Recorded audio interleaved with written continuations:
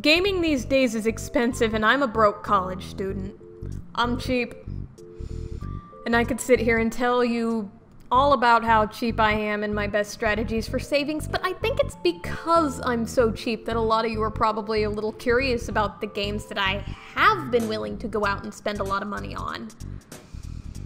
There's not that many. But that doesn't mean that I don't own a lot of expensive games. I mean, expensive just means coming at a high cost. Nothing about finances is mentioned there. And so, today I have for you a list of the most expensive games I own, used to own in the case of one of them, financial or otherwise. Oh, and real quick, before I get to the rest of the list, I just want to say that this video is based off of an article that I wrote for the Lifecast. It is a gaming, journalism, blogging, podcast site. My good friend Deanna made it a couple of months ago.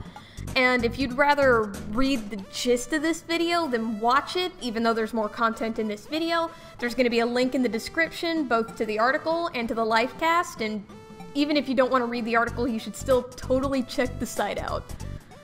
Please.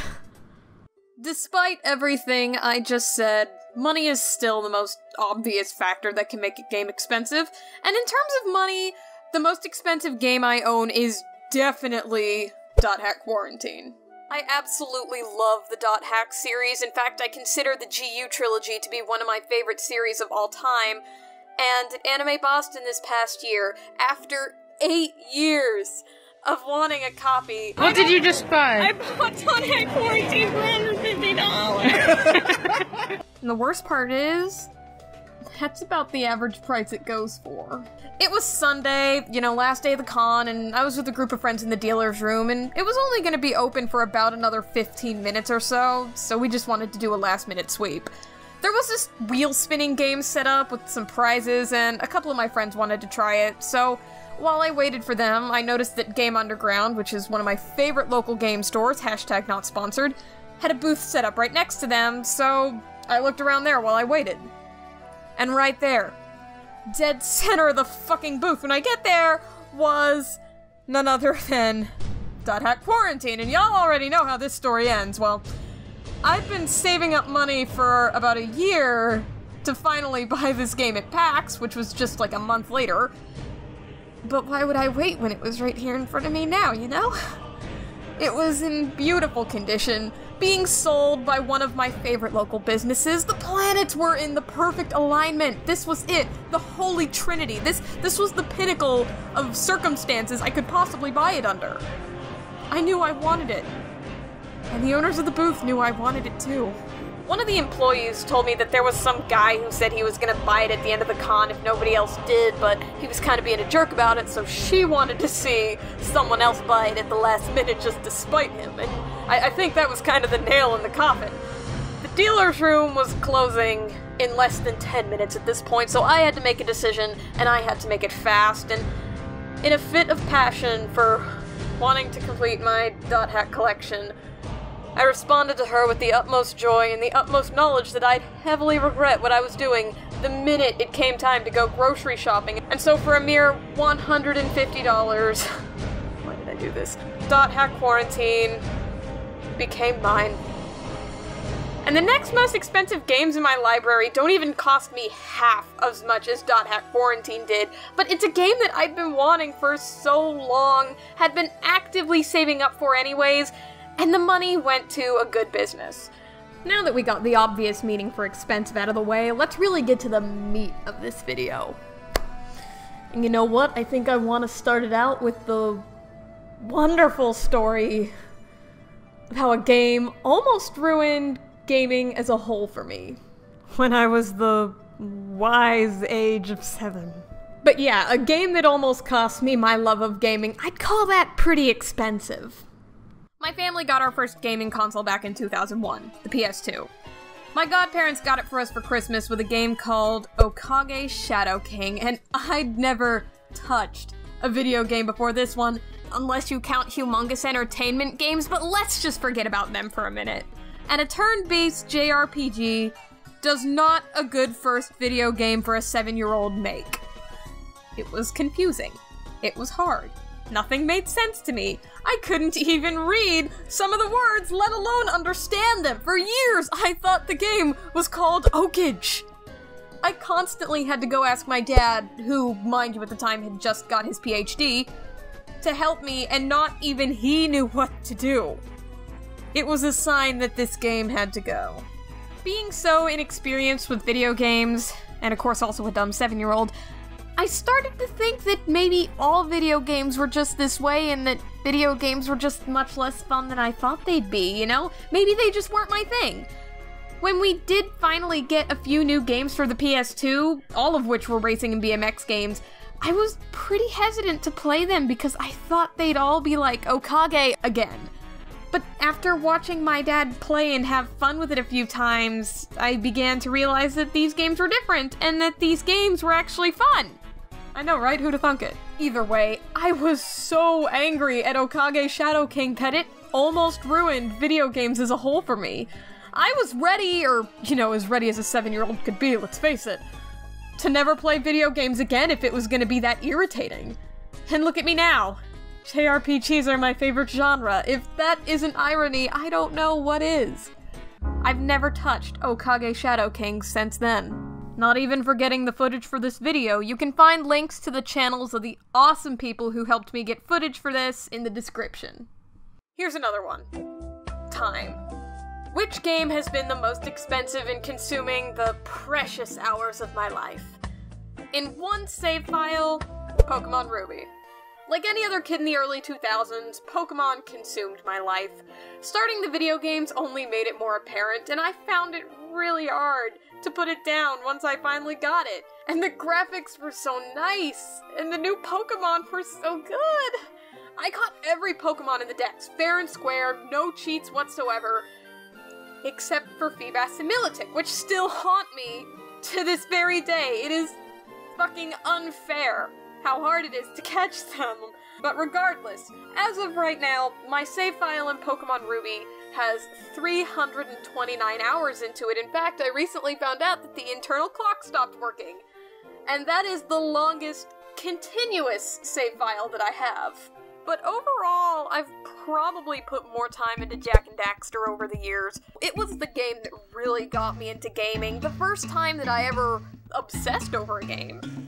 After we got it, my sister and I would do nothing but play it day in, day out, for months. We'd restart it, do all of our favorite tasks over and over again, and we'd do this continually, just accumulating more save files than we could count because we would get through them so quickly.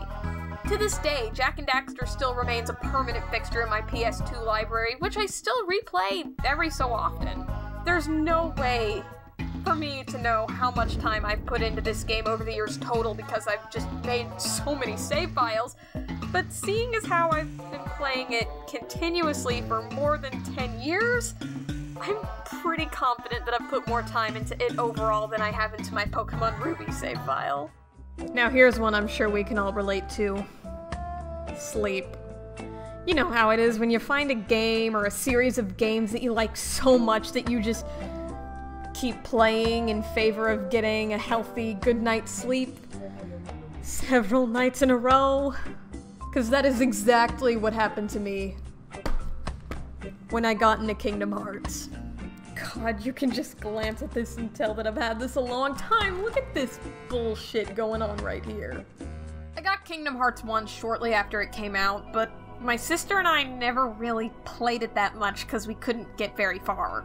We'd usually get to the ambush on Destiny Islands, you know, the one in the very beginning of the game, and we would die, and we would give up and play Jak and Daxter instead. But a couple years later, after Kingdom Hearts 2 was released, I wanted to go back and give Kingdom Hearts another shot now that I was older and wiser, and more importantly, I wanted to know what everybody was obsessing over. And when I finally got into it, fuck did I get into it! It was summer break back when I was in like sixth or seventh grade, something like that. So, you know, no job, no camp, no friends, nothing like that. So I just played Kingdom Hearts. A lot. I remember there was a string of like three days where I only got like 10 hours of sleep combined because I just wanted to play Kingdom Hearts all day. Finally, I ran into the Hula Hoop Riku battle and I was stuck there for like a month, and that slowed me down exponentially. But after getting to the point where I could recite the cutscene preceding the fight word for fucking word, I finally beat him. And then I watched the cutscenes for Rechain, because, you know, at the time it wasn't in English yet, and let's face it, the gameplay isn't fun. But after that, I did the exact same thing with Kingdom Hearts 2. I did nothing but play it. A lot. To the point where I basically didn't get more than three hours of sleep at a time until I beat it. I really liked Kingdom Hearts. And you know what? The story doesn't even fucking stop there. Years later, once Birth by Sleep came out, I did the exact same fucking thing, but to a lesser extent.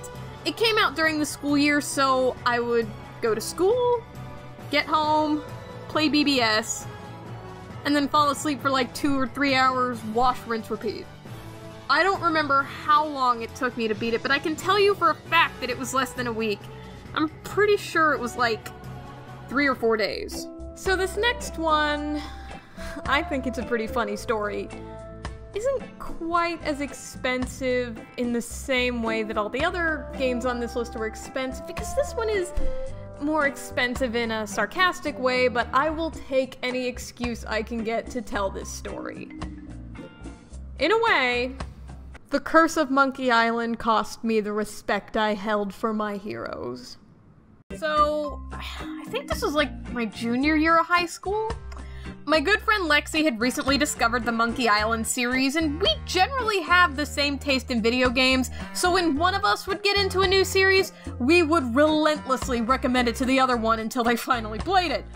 I don't remember if we were at school or at my house when this happened, but we had my laptop on hand and we were kind of bored and just trying to think of shit to do. I think another one of our friends might have even been with us at the time, but I don't remember. But what I do remember is that while we were sitting there trying to think of things we could do, Lexi, out of fucking nowhere, says we could always play Curse of Monkey Island. And you know, I kind of figured she was just saying that, you know, because she had no other idea and just wanted to bring up how great Monkey Island is and why we should all play it, but. No. This motherfucker, this confident motherfucker, pulls a flash drive out of her pocket and with this nonchalant tone, like this is a conversation she's had every single day for years, she's like, I have it and the program to play it on right here on this flash drive.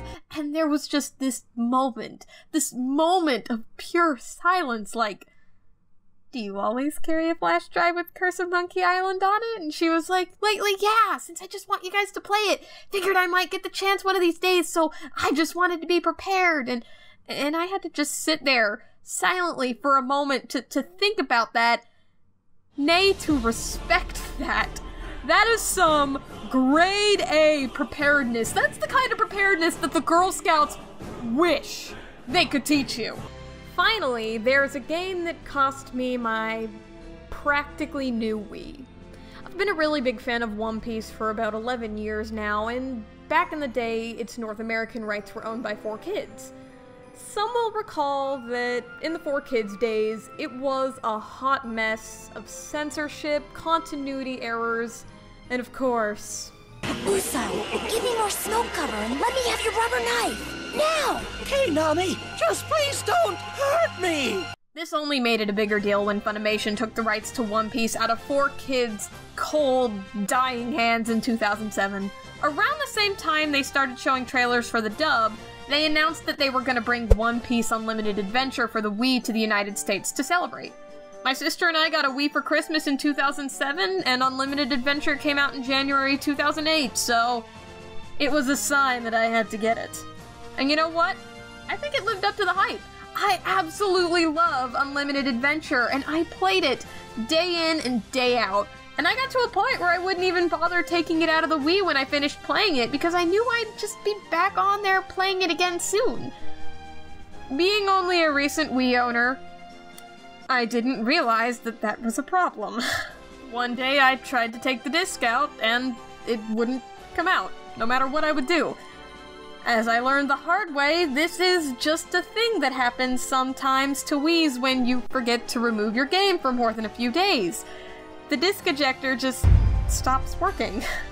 to repair it would cost more than the game itself, and to get a new console was just out of the question. Are Wii had just turned into an unlimited adventure machine, and being the only One Piece fan in my house, that didn't really sit too well with anyone else, especially my sister, who never really got a chance to play any good games on the Wii. It's still there to this day, as a matter of fact.